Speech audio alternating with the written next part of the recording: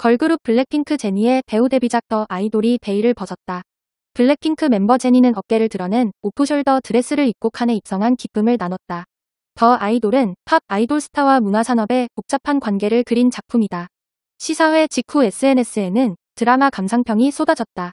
미국 잡지는 파격적인 설정으로 또다시 화제의 중심에 섰다. 포르노 그 자체다. 성적 행위를 시키고 그에 응하는 장면도 나온다며 가장 최악인 건 감독이 원래 이 장면이 더 길기를 원했다는 거다고 말했다.